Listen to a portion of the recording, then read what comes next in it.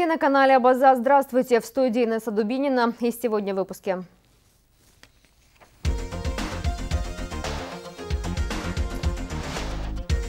Опознаны после 20 лет неизвестности. Преданы земле останки шести бойцов, ранее считавшихся без вести пропавшими. Копилка добра. За три месяца акция фонда Ашана набрала 130 тысяч. Верните нам рабочие места. Сотрудники Гагульского континента провели акцию у администрации президента. В Сухуми в парке боевой славы прошла церемония прощания с бойцами, погибшими в ходе мартовского наступления 1993 года. Спустя 21 год родные смогли проводить в последний путь кавалеров ордена Леона Нукзара Аржба, Руслана Немальцева, Адгура Шамба и награжденных медалью за отвагу Ивана Аддика и Тимура Ацухба. Самому младшему из них, Руслану Немальцему, уроженцу села Куланархуа, в марте 1993-го исполнилось 19 лет. На митинг по случаю перезахоронения бойцов, ранее считавшихся без вести пропавшими, пришли сотни людей. Руководство страны, общественные деятели и многочисленные жители республики.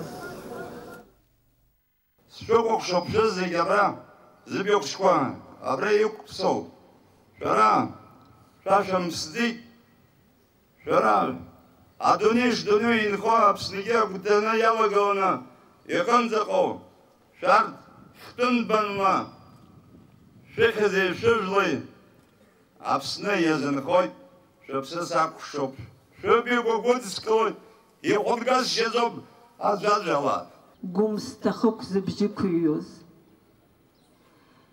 рҭыԥ аҿынӡа инаӡаз нас ихнымҳәырада ԥсыхәа змоуз ихынҳәыз изымхынҳәкәа уаҟа зыԥсы аанзшьыжьыз зыԥсҭазаара аҵкьыс зыԥсадгьыл алзхаз аҷкәынцәа ҳаибашьцәа зегь шҿаԥхьа ҳхырхәоит Среди вновь опознанных бойцов абхазской армии Борис Инабжба, уроженец села Члоу Ачимчирского района, посмертно награжденный орденом Леона. Все эти годы после войны родственники погибшего полагали, что предали земле тело Бориса на родовом кладбище в селе Члоу. Тему продолжит Астан Дарзмба. Говорят, война не окончена до тех пор, пока не будет похоронен последний солдат. В Абхазии война даже спустя десятилетия отголосками напоминает о себе. Здесь до сих пор хоронят солдат, 20 лет спустя. Борис Инапшва никогда не числился в числе пропавших без вести. Все эти годы после войны его родственники считали, что похоронили его на родовом кладбище в Челоу. Тем не менее, не все в семье бойца были в этом уверены. Сердце меня тянуло сюда, вот, э, где лежали наши неопознанные бойцы. И э, в минуты, когда вот как-то вот доливала мысль, э, особенно раньше, в те вот первые годы, я бежала сюда вечерами, когда уже темнело, когда уже никто меня не видел. И вот там тут травку пощипаю, то, то там посижу, там, там цветок положу, свечу зажгу. Мне казалось все время, что там лежит мой супруг. Борис Инапшба погиб во время мартовского наступления 1993 года. Мзии Бия удалось определить место гибели супруга, но в условиях военных действий забрать его тело с левого берега Гумисты не представлялось возможным. И после окончания войны опознать тело Бориса Инапшба среди останков тел, погребенных в братской могиле, не удалось. Спустя год после войны семье указали место захоронения Бориса Инапшба.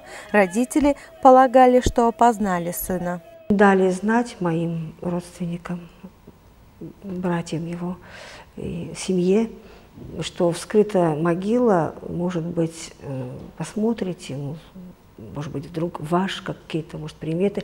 Но примета была единственная, золотая коронка.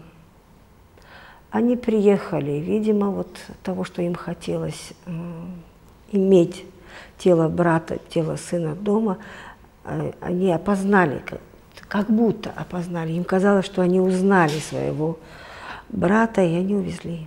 Год назад, когда начался процесс эксгумации и идентификации неопознанных бойцов, захороненных в парке боевой славы, вдова Бориса Инопшпа, герой Абхазии Мзия Бия, обратилась в комиссию по пропавшим без вести при кабинете министров. Она не сомневалась в необходимости сдать анализы ДНК. Сложнее всего, признается она, было уговорить принять участие в программе других членов семьи Инопшба, не желавших верить в то, что предали земле не своего сына. Наверное, вас интересует, какие мы испытываем чувства. Наверное, чувство радости, тяжелое, трудное, трудно переживаемое, но мы радуемся тому, что останки нашего дорогого человека находятся дома – для моей семьи война закончилась, признается Мзия. Сразу после того, как ей сообщили об опознании супруга, было принято решение об эксгумации останков неизвестного, похороненного на родовом кладбище в Челоу. Они были перевезены в Сухум в лабораторию Республиканского бюро судмедэкспертизы. Образцы его ДНК уже повезли в Загреб. С того момента, когда родственники Инапшба согласились эм, на эксгумацию значит, тело, которое находилось э, в течение многих лет у них на кладбище. Это тело было перевезено в бюро судебно-медицинской экспертизы. В течение двух последующих дней были взяты материалы для исследования, и они уже находятся в лаборатории. Пропавших без вести во время Отечественной войны в Абхазии сотни. Это двойное горе, когда нет возможности прийти на могилу и оплакать своих близких, как того требует обычай. Процесс идентификации личности неопознанных бойцов продолжается, и семьи воинов, о судьбе которых ничего не известно, по-прежнему связывают с ним большие надежды. Астанда Арзенбаторник, Амичба, Эдуард Аракелян, Абаза ТВ. 21 июня исполнилось 20 лет со дня ввода в зону грузино-абхазского конфликта коллективных сил СНГ по поддержанию мира КСПМ. На седьмой российской военной базе в Гудауте и в Сухуми прошли торжества, посвященные этой знаменательной дате. Исполняющий обязанности президента Абхазии Валерия Баганба, исполняющий обязанности премьер-министра Владимир Делба, представители командования Вооруженных сил республики возложили цветы к памятнику погибшим миротворцам на территории бывшего санатория МВО, где располагался генеральный штаб КСПМ СНГ.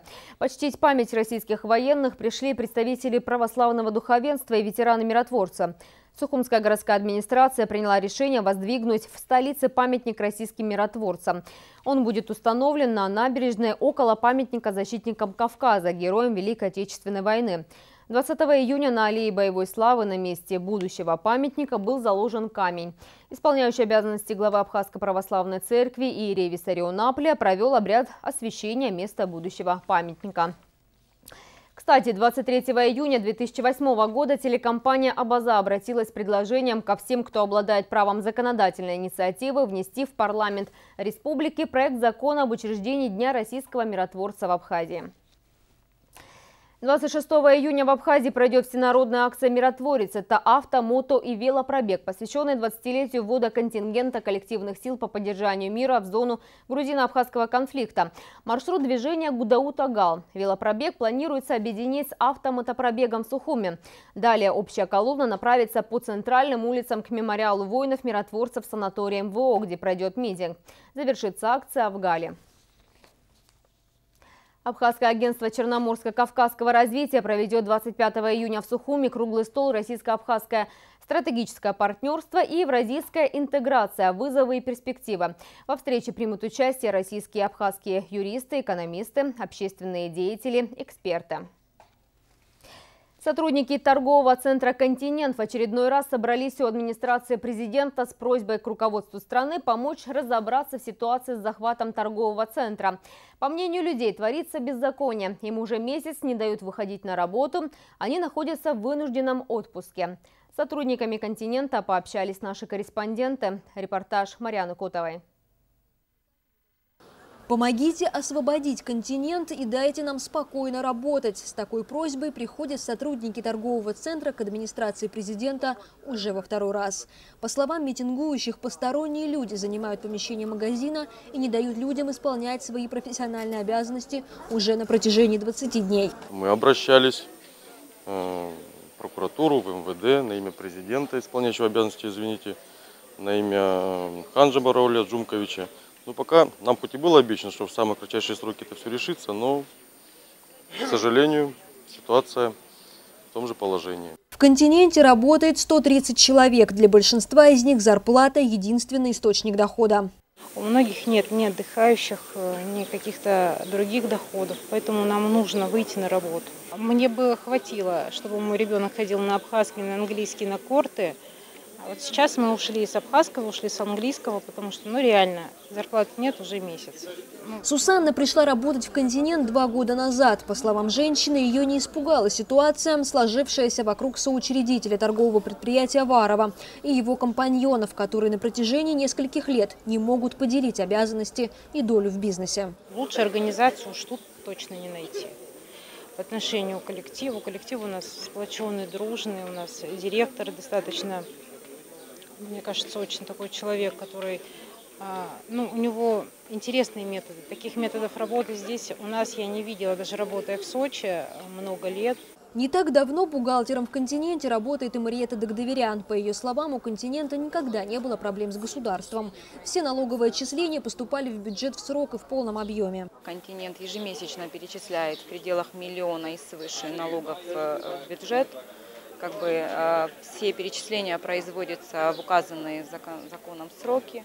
Все налоговые проверки как бы у нас проходят э, практически ежегодно. Около часа люди ждали, что кто-нибудь из администрации президента выйдет к ним, но так и не дождавшись, направили к исполняющим обязанности главы государства Валерию Ганба делегатов. После получасовых переговоров сотрудники континента вышли с нерадостными для коллег новостями. Государство хочет, чтобы стороны сели за стол переговоров, до этого времени э, трудовой коллектив находится заложником и без работы. Сотрудников континента не интересуют разногласия между учредителями торгового центра. Их волнует своя собственная судьба, и они очень боятся остаться без работы. Но, похоже, кроме них это мало кого волнует. Марьяна Котова, Эдуард Иракелян, Абаза ТВ. Торгово-промышленная палата Республики Абхазия подписала двусторонний меморандум о взаимопонимании и сотрудничестве с Палатой по торговле, промышленности и сельскому хозяйству Бейрута и Горного Ливана. По итогам делового визита в Ливан абхазской делегации во главе с президентом ТПП Геннадием Гагулия. На встрече были затронуты темы, касающиеся экспорта и импорта продукции, создания совместных предприятий, оказания двустороннего экономического содействия, организации встреч между предпринимателями Абхазии и Ливана. Благотворительная акция «Копилка добра» культурно-благотворительного фонда «Ашана» начинает а, набирать обороты. Все больше неравнодушных к проблеме больных детей сограждан оказывают посильную помощь.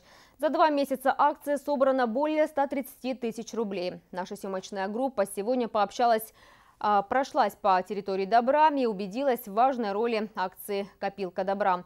Репортаж Леонора Гилаян. Продуктовый магазин «Прима» напротив вокзала не такой, как все. В народе его нарекли территорией добра, да и надпись на двери гласит о том же. Магазин – участник акции фонда «Ашана» «Копилка добра». Судя по всему, копилка здесь наполняется быстро, а значит, на территорию добра заходит много добрых людей. Люди часто обращают на это внимание, ложат денежки, помощь детям. Мы сами тоже ложили, да. Наше путешествие по территории добра продолжилось вверх по улице Эшба. Следующая остановка – Абургер. Здесь, в излюбленном молодежью кафе, копилка добра занимает самое почетное место – у кассы. Руководитель спецпроекта фонда Ашана Мадина Зухба производит выемку денег. Эта процедура всегда проходит в присутствии комиссии из трех человек. Далее, по акту, деньги кладутся в банк на спецсчет фонда. Мадина говорит о копилках добра как о наиболее удобном способе перевести пожертвования наличными. Наш фонд постоянно проводит мониторинг и различные опросы, благодаря чему э, мы узнаем, какие новые механизмы можно использовать для сбора средств. А, копилка добра – это живой пример, это наиболее удобный, простой способ сделать э, пожертвование наличными деньгами. В настоящее время установлено около 28 копилок добра на территории Абхазии. Они очень быстро заполняются. Вот мы каждую неделю ездим, проверяем и по мере заполняемости освобождаем их. В одном из самых посещаемых торговых центров столицы Сухом маркете копилка добра также заняла свое место. Посетители, замечая благотворительный островок, не проходят мимо. А копилка добра – это хороший, удобный способ оказать помощь больным деткам. Спасибо фонду Ашана. Акция «Спасем жизнь вместе» уже два с половиной года. За этот период, благодаря неравнодушным гражданам, было собрано более 13 миллионов рублей на лечение тяжело больных детей. Более 50 детям уже оказана помощь. Даже самые небольшие пожертвования в копилку добра, соединившись с другими, составляют существенные суммы и приносят огромную пользу. Для того, чтобы внести свою лепту в большой мир благотворительности, уже не нужно простаивать очереди в банках. Копилки добра пришли на помощь тем, кто любит и хочет помогать. Элеонора Гилаян, Торник Амичба, Абаза ТВ. Сейчас еще о нескольких датах из истории Абхазии. 22 июня 1856 года родился Фома Христофорович Эшба, абхазский просветитель. Фома Эшба является соавтором абхазской азбуки 1906 года и составителем первого задачника на абхазском языке. Является автором популярной абхазской песни «Щардамта». 22 июня 1932 года родился писатель и журналист Анатолий Батович Возба. С 1991 года он возглавил редакционный коллектив Гудаутской газеты «Бзыб». Анатолий Возба, активный участник национально-освободительного движения, был председателем Гудаутского отделения Народного форума Айдыгалара. 22 июня 1941 года, 73 года назад, началась Великая Отечественная война, унесшая более 27 миллионов жизней. Этот день отмечается как День памяти и скорби.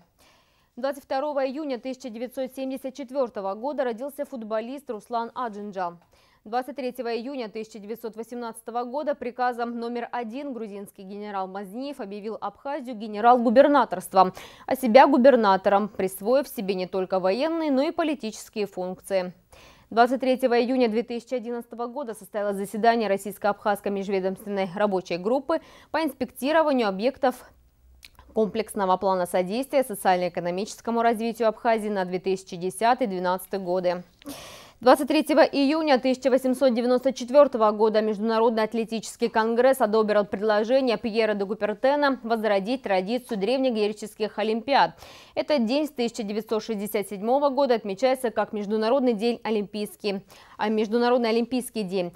Сегодня Олимпийские игры – самые популярные, представительные и престижные международные спортивные соревнования. Каждый спортсмен пытается достойно представить свою страну на Олимпиаде. Бронзовый призер Олимпиады 2012 наш соотечественник Денис Царгуш в пятый раз завоевал титул сильнейшего борца Российской Федерации. Двукратный чемпион мира Царгуш в решающем поединке сломил сопротивление Якуба Али Шахджамалова из Дагестана. Сейчас предлагаем вашему вниманию самые интересные моменты финальной схватки Дениса Царгуш. Благодарю. Главный финалист 1 килограмм. Красноцветы борются заслуженный мастер спорта, бронзовый призер Олимпийских игр Денис Саргиш, Московская область.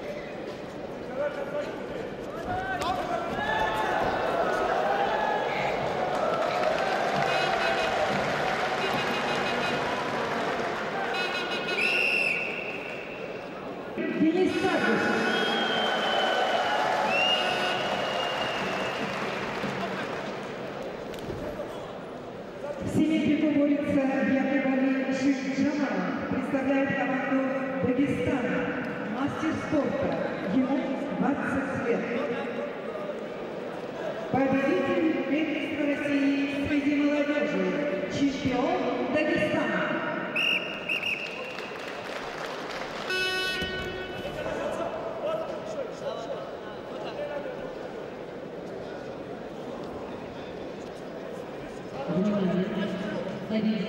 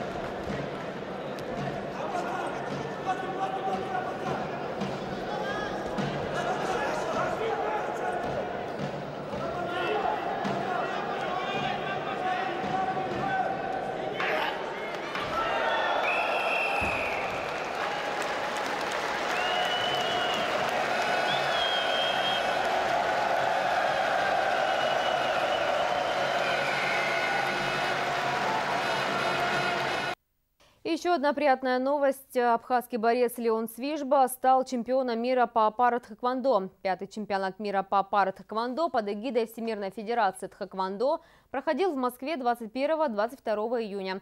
Этот вид спорта собираются включить в программу Паралимпиады 2012 года. В перспективе участие Леона Свижба в Паралимпийских играх 2016 года в Рио-де-Жанейро, Бразилия, демонстрационный вид, и участие в Паралимпийских играх 2020 года в Токио. Япония. И в завершении выпуска о погоде.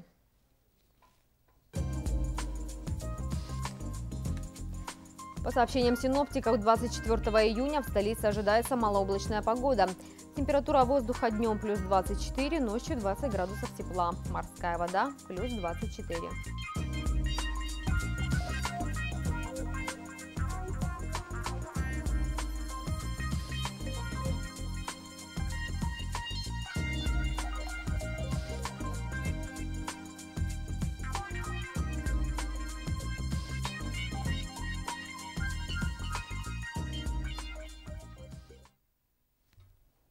На этом пока все. До встречи.